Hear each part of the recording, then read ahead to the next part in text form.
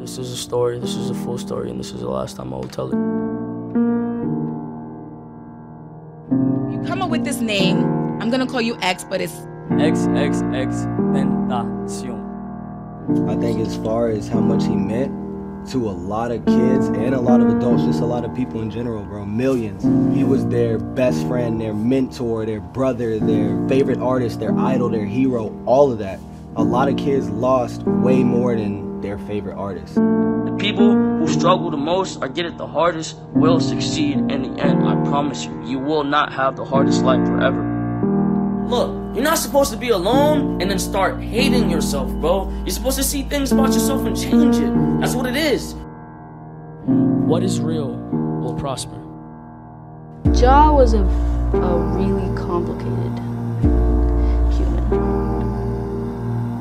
What you deserve will come to you. And if I end up getting shot and killed for what the fuck I'm doing, or if I end up getting my ass beat at some point in time, or, or nigga, if shit get hard on me, it's because I deserve it. That's point blank, period.